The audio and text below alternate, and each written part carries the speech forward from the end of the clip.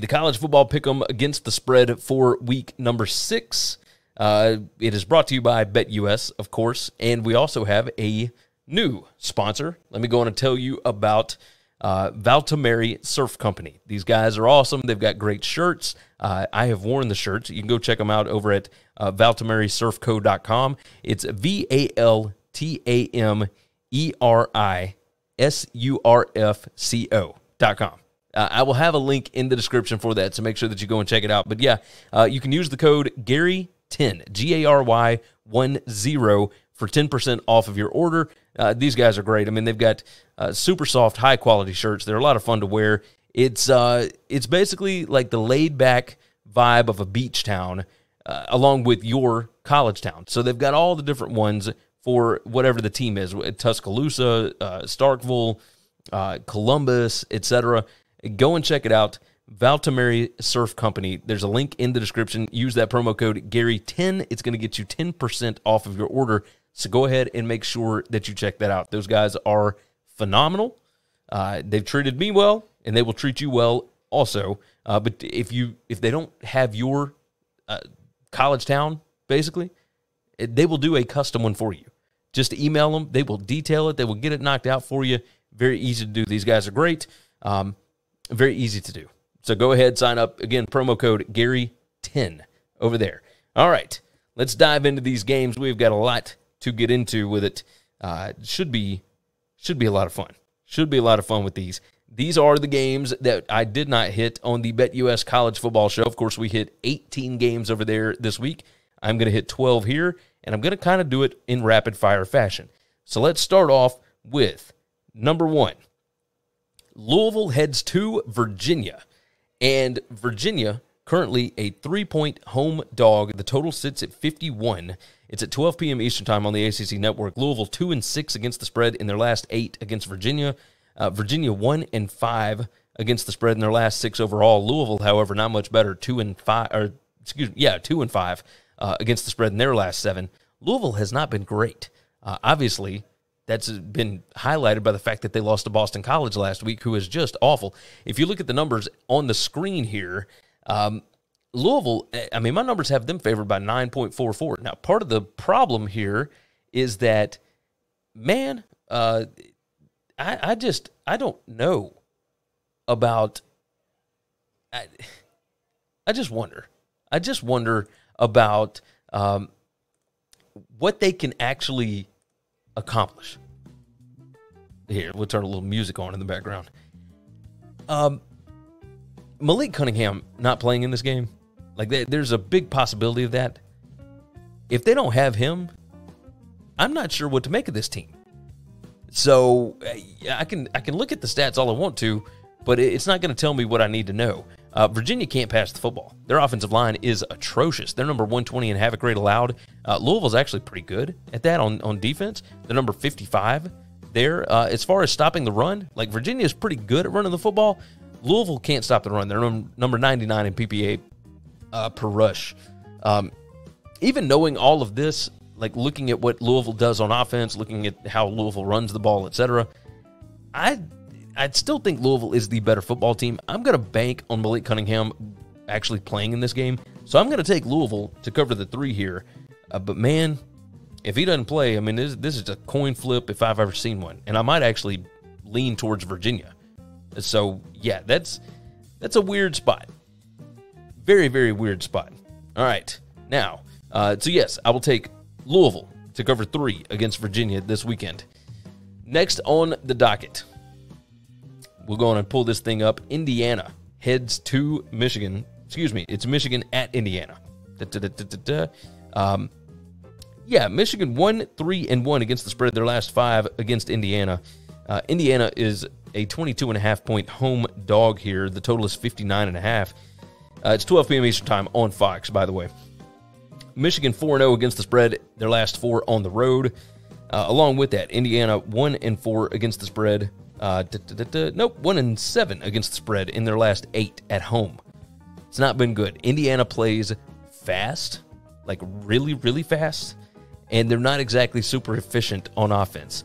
Uh, so, more opportunities, I think, for Michigan to be able to score points here than normal. Uh, this I, have got 30.28 here. Um, I don't know that I would trust that number, um, but at the same time, uh, why would you not? Like I think Michigan got tired of Indiana playing close games with them, and this team uh, looked really good early against Iowa last week. I think they're going to be able to do the same thing at Indiana.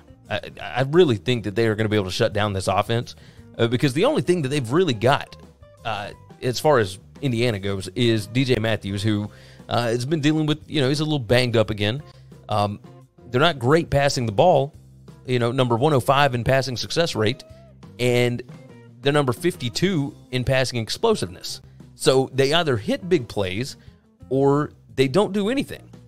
And that's that's tricky because I don't think you're going to get a lot of big plays against Michigan. So go ahead and give me Michigan to cover the 22 here.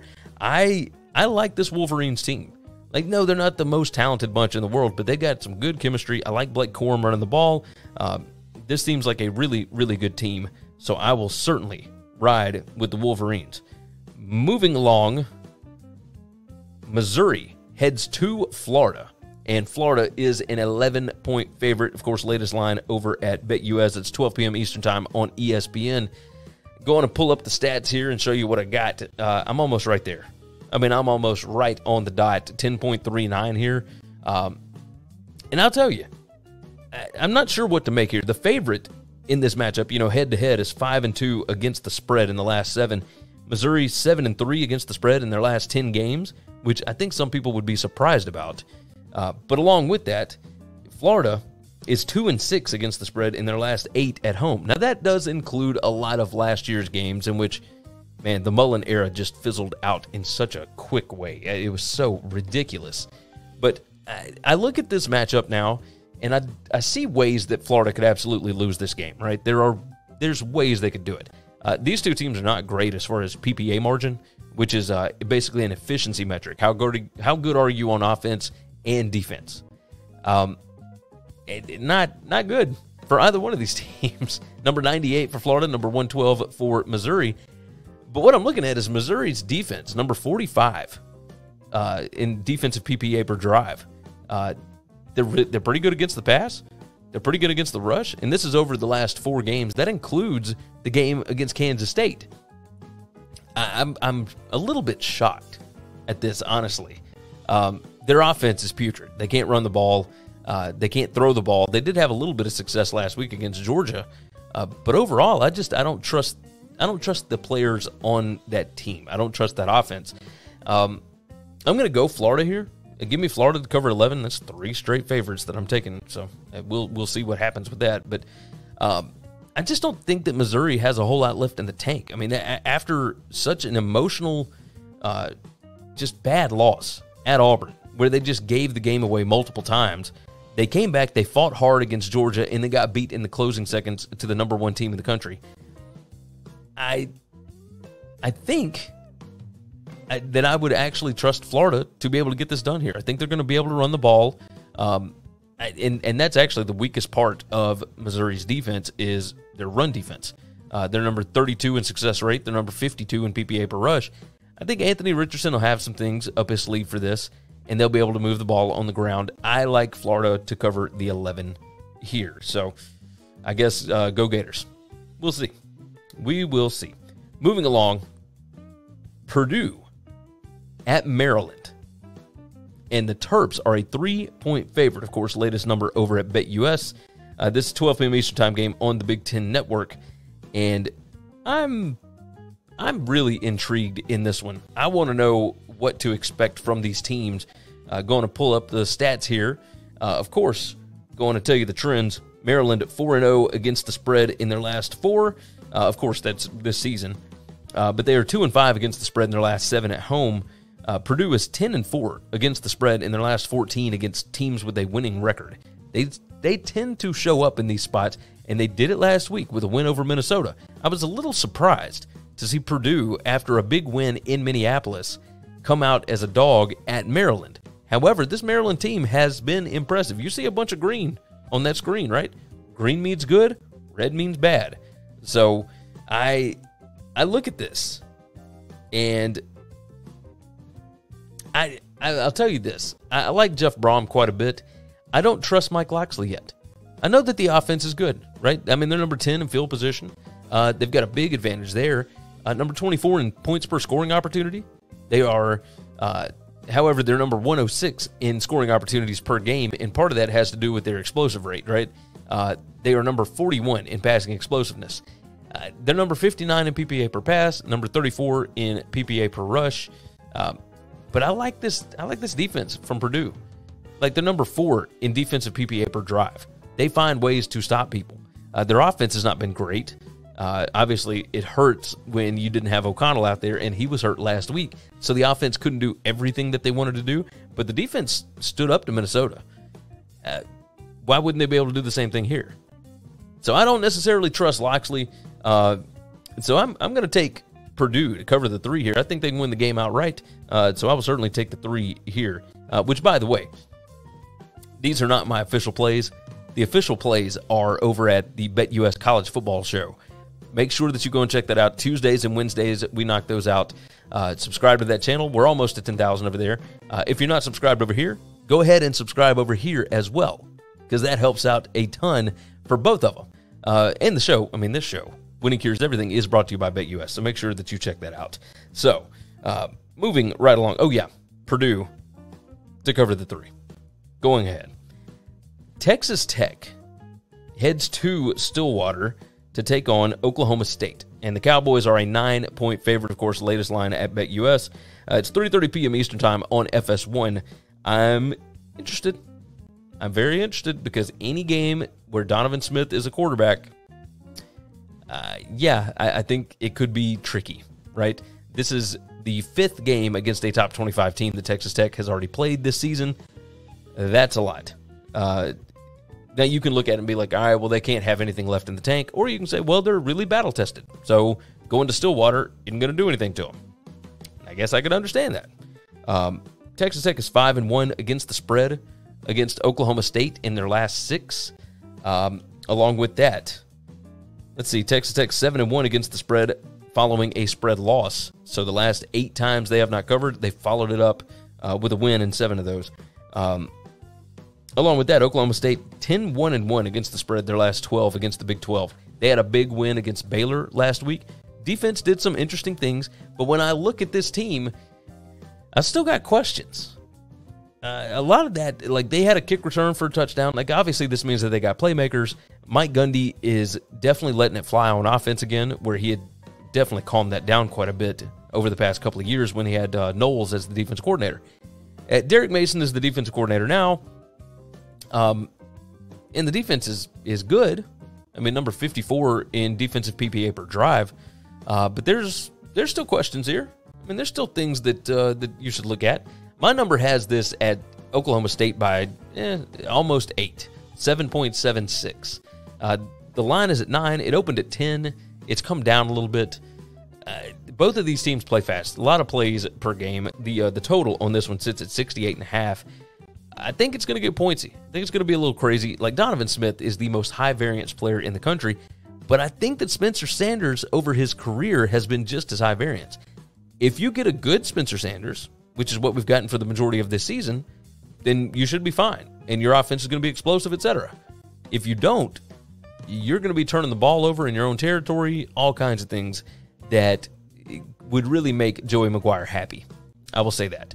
So I look at this, I think there's a chance this could be a pretty tight game. If I'm getting near double digits, yeah, I'm going to take the Red Raiders. I'll take Texas Tech plus nine here. Seems like the better play, the better uh, chance of happening is them keeping this within a touchdown. I like it. I absolutely like it. I mean, they lost by what nine last week. Uh, yeah, I could see them losing by nine here. I could see them losing by a touchdown. So that, that's what I'm thinking. I think uh, Texas Tech plus the nine is the way that I'm going to go on this. Moving along, Auburn heads to Georgia and the Bulldogs are a 29 and a half point favorite. Latest line at BetUS. This one is interesting. It's 3:30 p.m. Eastern Time on CBS, and it, there's all kind of numbers that favor Georgia in this one. Um, they are, let's see, Auburn is 0 and 7 against the spread. Their last seven against Georgia. Uh, Auburn is one and five against the spread in their last six games overall, and on top of that, uh, Georgia is one and five against the spread in their last six at home. So the numbers sometimes get a little too out of whack. I don't think so here. Uh, Georgia has looked very pedestrian the past two weeks. Auburn has put up a fight in games where they actually thought they could win, and they did get a win over Missouri. But I mean, it took every ounce of every bit of magic that they had inside of Jordan Hare to be able to get that one. And then they come out and they score the first 17 points against LSU. Had the highest win rate probability, excuse me, the third highest win rate probability of a team that didn't win against LSU last week. Lost 21 to 17, should have won the game. And now they're going to Georgia after Georgia has come out looking kind of bad the last two weeks, lost their number one ranking, etc. Eh, Parker over on the Bet US show talks about Georgia being bored. I think that's possible. However, uh, I don't think they will be bored in this one. This is a rivalry. This one means something. I would, I would go with Georgia to cover the 29 and a half here. I know that that's lost a little bit of value because that thing was at 28 not that long ago. Um, Georgia should be able to run the ball here. Their PPA per pass is number 48 in the country, and that's what Auburn is actually pretty good at uh, at defending. They're number 24 in PPA per pass. The Auburn offense does nothing good. That they can't throw the ball well, they can't run the ball well, and you look at that against that Georgia defense, and I just again on these sheets, red is bad, green is good. I don't know how Auburn hangs in this one. Um, I don't like betting these big numbers because you're banking on something to not be too crazy, right? Like you could end up with a backdoor cover very easily with something like that. You have to have Georgia actually care about the game, etc. I think they come out and treat this one kind of like that Oregon game. They come out firing on all cylinders. They're at home. It's a prime spot against a rival. I think they come out ready to bang. So, yeah, give me Georgia to cover the 29 and a half on that one. Moving along, Washington heads to Arizona State. Another Pac 12 game. Washington, of course, was, uh, is it safe to say, embarrassed in the Rose Bowl last week against UCLA? I mean, DTR just carved them up. Well, now you face a, uh, what's what's the best way to say it? I guess like a poor man's version of DTR in Emory Jones who's not who's not quite as good. He's not as good at, at passing the ball. He's not as good at running the ball, but he does kind of some of the same things. Now, this team put up a fight against USC last week. Arizona State did. Uh, and now Arizona State is a 14 point underdog at home with a total of 57. Uh, it's that's the latest line over at BetUS. And yeah, 3:30 p.m. Eastern time on the Pac-12 network here. Uh, looking at the trends, let's go and pull up the uh, the stats so that you guys can see those. Interesting, interesting indeed. Of course, uh, we have got Washington 0 and 7 in their last seven trips. That's against the spread at Arizona State. Washington is 4 and 1 against the spread thus far this year. Of course, their first loss came last week. And of course, Arizona State 5 and 0 against the spread in their last 5 at home against winning teams. Seems like a lot of points, right? 14? No, I don't think so. Uh, I think Washington had some guys that were dinged up on defense last week. Uh, I expect those guys to be back and actually looking pretty decent this week. No, their defense is not anything to write home about. They're number 71 in PPA per drive, or excuse me, 71 PPA per drive defense. Uh, but Arizona State's numbers are just putrid. I mean, they're just not good at all. Uh, they throw the ball nearly 57% of the time, and they're number 95 in PPA per pass. So while you can maybe find some explosive plays against this Washington defense, I don't think they're going to be able to. Um, because that, you see on this chart, that's all that they've got is explosive plays. I mean, it's they got passing explosiveness, they got rushing explosiveness. They can maybe take advantage of some stuff that Washington does, but when you are not successful on a down to down basis, I don't trust you. I think Washington's offense, you, you scroll this thing down, look at Washington's offense here. You see all that green going up against that defense? Yeah, number 10 PPA per pass offense going up against the number 112 PPA per pass defense. Washington can take advantage of this game. Michael Penix should have a massive, massive game. Uh, I will take Washington to cover the 14. My line even shows it. Uh, Washington minus 18.61. I got like four points of value there. Yeah, I'm going to roll with it. So give me Washington to cover 14 on this one. Go Huskies, I guess. Ohio State at Michigan State. Uh, this one's this one's interesting, right? Michigan State, a 27 point home underdog, and Mel Tucker uh, has seen better days, my friends, in East Lansing. Yikes on that one. Uh, the latest line, of course, is over at BetUS. Uh, it's 4 p.m. Eastern Time on ABC. Ohio State, a 27 point favorite. Ohio State is 5 0 against the spread, their last five against Michigan State. They took it personally back in 2015 when Michigan State came into their house and beat them and ended up going to the playoff. Uh, they are seven and three against the spread. Their last ten against teams with a losing record. Michigan State, however, seven one and two against the spread in their last ten at home. Interesting. Interesting. That game last year where they got blown out by Ohio State was actually at the Horseshoe. So you look at some of these stats here, uh, which I didn't pull up on the screen, and I probably should have. My apologies. Uh, I've got Ohio State by a lot. Michigan State is not a good football team. They're just not good at all. Uh, there's nothing that I can find where they have an advantage. Even the things that they're good at, uh, Ohio State's actually better. So, it, like you think, all right, well, Michigan State's number 11 in average field position on offense. Well, that's great, unless you're playing the number two average field position defense. That's not not great. Um, I just I can't find any way to keep Michigan State in this ball game. And this isn't like a look ahead spot for Ohio State. And the fact that Mel Tucker has been, you know, going out on the recruiting trail, etc., this is kind of one of those spots where I think that I think Ryan Day may run it up just to prove a point. That's what I'm that's what I'm curious about. This is Michigan State is a team that wants to start recruiting at the same level as Ohio State, and the way that you curb that is by going out and just whipping them in their own house. Uh, they're getting a lot of their weapons back this week. It feels like uh, they should be awesome. Uh, my number as this at forty, almost forty-one. Yeah, this this could be about as bad as it was last year. It's the number one PPA per pass offense against the number one eighteen PPA per pass defense. Whew. Yeah, boy. That's crazy. And this is over the last four weeks. It doesn't even include that, that week one game. So yeah, this is uh this could get bad. So give me Ohio State to cover the 27 here. It's under four touchdowns. I know that we lost a bunch of value. I think this thing rose like three points. It, it just wasn't set at the right spot. Just wasn't. So, bottom line there. Moving along, we got four more that we're going to hit before we get out of here. Washington State heads to USC, and USC currently a 12 and a half point favorite at home. Interesting, to say the least. Uh, looking at the trends here, uh, the road team in this matchup is seven and two against the spread in the last nine. Uh, Washington State four zero against the spread in the last four games. They are five and two against the spread in their last seven road games, so they do travel pretty well. USC two and five against the spread in their last seven games against winning teams. Now, a good portion of that was against teams when Clay Helton was the coach. So yeah, obviously things went south last year, and even the year before that, they weren't very good.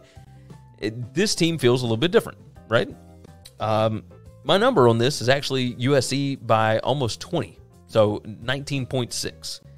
Uh, I don't, I don't know how much to trust. I look at what Washington State is doing, and their defense could find ways to maybe slow down Caleb Williams in that bunch. Because I don't know that Caleb Williams and that bunch have really been tested all that well so far this year. Oregon State, of course, played them tough and then went out the next week and just got bludgeoned by Utah. Uh, and you can say, oh, it's because they had four turnovers against Utah. But they had four turnovers against USC, and USC still had to claw back. Washington State is not intimidated by these guys. Um, I'm I'm curious about because the, the USC defense appears to be pretty real against the pass. I just don't know exactly who they've gone up against that is able to throw the ball the way that Cam Ward does. Cam Ward still high variance kind of guy. He can throw interceptions as well as touchdowns. It's you don't know exactly what you're going to get. And when you look at like turnover rate, yeah, uh, just terrifying, absolutely terrifying. Um, interceptions per game, uh, as far as the interception rate, yeah, USC is number one in the country. 7.79% of the passes they defend, they end up intercepting. Uh, Washington State throws an interception on 4.64% of their pass attempts. So that's a way that this thing could get sideways. I mean, you're talking about the number one turnover margin team in the country against the number 100 turnover margin team in the country. That's where it could get tricky. I seem to believe, now I'm going against my number here. I'm going to take Washington State to cover the 12 and a half. I think they find a way to stay in this ball game, keep it close. Uh, I, this is a tight spot for USC. They got a big game next week against Utah. That's the one everybody's pointing at. Oh, it's just Wazoo. We're not going to worry with them. We'll be able to handle them, no problem. This thing could get tricky. It could get tricky. Ask Oregon about that. So yeah, I will I will ride with Washington State plus 12 and a half. Next on the board, South Carolina at Kentucky. Kentucky, a six point favorite. Of course, latest line over at BetUS. This is uh this is an interesting spot. Interesting spot. This line was at 11 and a half about three days ago. And now, I mean, we're not even close. We're, we're under a touchdown now. This thing is blown through key numbers. Um, South Carolina 1 and 8 against the spread their last night against Kentucky. Kentucky prides themselves on beating South Carolina. South Carolina is 0 4 against the spread on their last four road games. Kentucky 6 1 and 1 against the spread in their last eight games. All of that hinges on Will Levis. Is Will Levis going to actually play in this game? Uh, Matt over at KSR at Kentucky Sports Radio just revealed on Wednesday night that, hey, looks like Will Levis is a game time decision. Not sure exactly what's going on. Doesn't have to do with the finger that was uh, that was hurt last week against Ole Miss. Uh, this is a, you know, game time decision. We'll see. I'm interested in this big time because I think Spencer Rattler could go in there and have a little bit of success. You look at what Kentucky does, uh, and and they can't run the football. I don't trust whoever the backup is. If you can't throw the football, this is a team that's number 120 in PPA per rush. That even after Chris Rodriguez came back last week, I thought maybe he'd be able to help things because he gets a you know yards after contact. That offensive line still cannot block for him. Like it's it's rough. Uh, the offensive line is number 107 in offensive line yards. They're number 118 in stuff rate allowed. Uh, and it's not that South Carolina is great at that. Like don't get me wrong, but man, um, the Kentucky defense number 14 in PPA per pass, but they're number 97 in explosive passing rate allowed. Eh, South Carolina is number four. I think South Carolina can find some ways to score the ball. I, I'm going to trust South Carolina to cover the six here because I think this could be a field goal game. I think it could be really, really tight. I didn't pull it up on the uh, on the screen, did I? Unbelievable. So here's what I was talking about. Uh, PPA per pass on offense for Kentucky. Well, if you don't have Will Levis, I don't know how reliable that number is. My number on this already was Kentucky by a point, not even a point. I mean, it was a really tight line anyway. Um, and when you look at the advantage here, the passing explosiveness for South Carolina, number four versus number 97. That's something to pay attention to. Just saying. Uh, I think South Carolina can find ways to to score here. Uh, they're pretty good running the ball, number six in PPA per rush over the last four weeks. Uh, Kentucky, you know, not great, uh, not especially not great with rushing explosiveness. I mean, Ole Miss took advantage of that. Um, I like South Carolina here. I like South Carolina. I think that they'll be able to uh, stay in this ball game. I like them plus the six. I like them plus the 11 and a half. Uh, but yeah, it's dropped a lot. We lost a lot of value. That's okay. Still going to ride with South Carolina here. Moving right along, we got two more to hit. Write down the times. Iowa at Illinois. Illinois is a three and a half point favorite at home. Total of 36 and a half.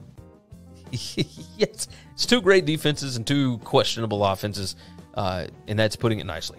I will say that. 7:30 p.m. Eastern Time on the Big Ten Network. Uh, let's go on and, and, pull up the stats. Not going to forget to do that again. Good gracious. Uh, yeah, Iowa. I, am I'm, I'm I'm still concerned about their offense. Uh, now the question here: Illinois likes to play a lot of man defense. Spencer Petras hadn't been bad against man defenses. Uh, it's when you start throwing out zones where he doesn't really know what to do with the football. So maybe there's a chance that Iowa could actually put up some points. Um, an overplay might be all right here, but these are two very conservative coaches. Um, and let me let me read off the stats here. Let me read off the trends.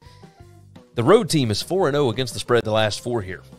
Iowa 7 2 and 1 against the spread their last 10 on the road. Illinois 7 0 and 1 against the spread in their last 8 against winning teams. They show up in spots like this. Bielema just got a massive win at Wisconsin. I think he would like it just as much if he could get a win over Kirk Ferentz in that bunch. Uh, you know, he's an Iowa guy. Um, but I, I think I think I'm going to trust Illinois here. Their offense is getting better. Number 54 PPA per pass. They're finding ways to get Tommy DeVito the ball out. But I don't think it's that. I think they're going to end up with some short fields. Okay? Because I trust Illinois to not turn the football over. I don't trust Iowa to be able to do anything with the football. Uh, they are, I mean, not not great at all. And, and don't get me wrong, they don't turn the ball over a lot. Uh, but I think they, they can get stopped a lot. Their drives can get stopped. Uh, as far as scoring opportunities per game, they're number 106 in the country on offense, is Iowa. Uh, 4.25 scoring opportunities per game. They're number 108 in points per scoring opportunity. So they don't get many opportunities. And even when they do get opportunities, they don't score touchdowns. 3.18 is their average per scoring opportunity. Illinois' defense is number one in that metric. So if you're already bad, now you're going up against the best. That's pretty terrifying. My numbers got it uh, at Illinois by double digits. Yeah, I'm going to ride it. Give me, give me the fighting Brett Bielemas. I will take Illinois to cover three and a half. Let's go. Let's go, Ryan Walters in that defense. That's what I'm talking about. All right, last game on the board.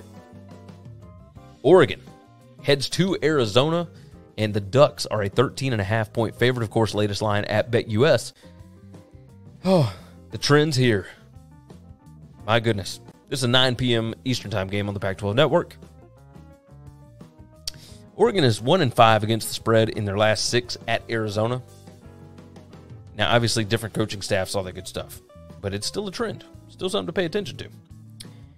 Oregon is 0 5 against the spread in their last five road games.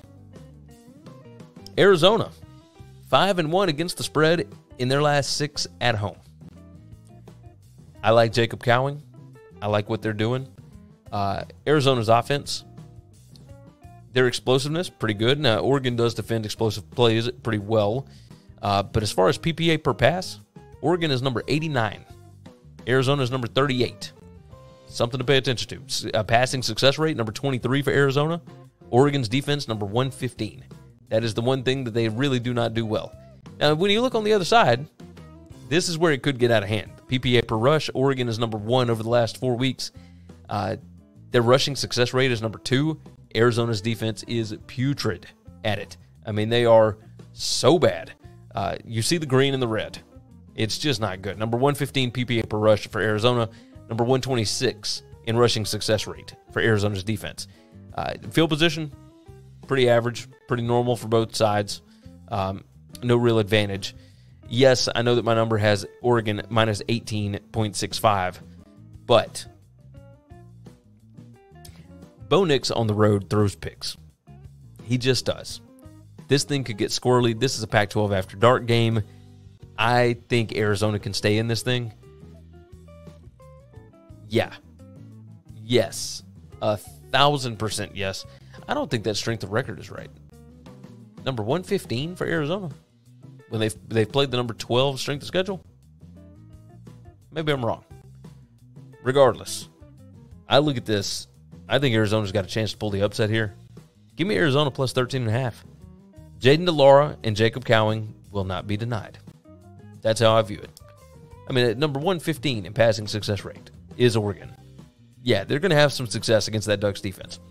I'm going to take them. Give me Arizona plus 13 and a half. I like it. All right. It's time for us to get out of here. You guys have been absolutely magnificent. I certainly appreciate y'all for being here. Go visit BetUS. Go subscribe to the BetUS College Football Show. All the links are in the description. Thanks for listening to Winning Cures Everything. Make sure and subscribe on YouTube or your favorite podcast app. And make sure to leave a nice five star review. You can follow Gary on Twitter at GaryWCE. And the show is at Winning Cures. Be sure to check out the merch in our web store and share the show.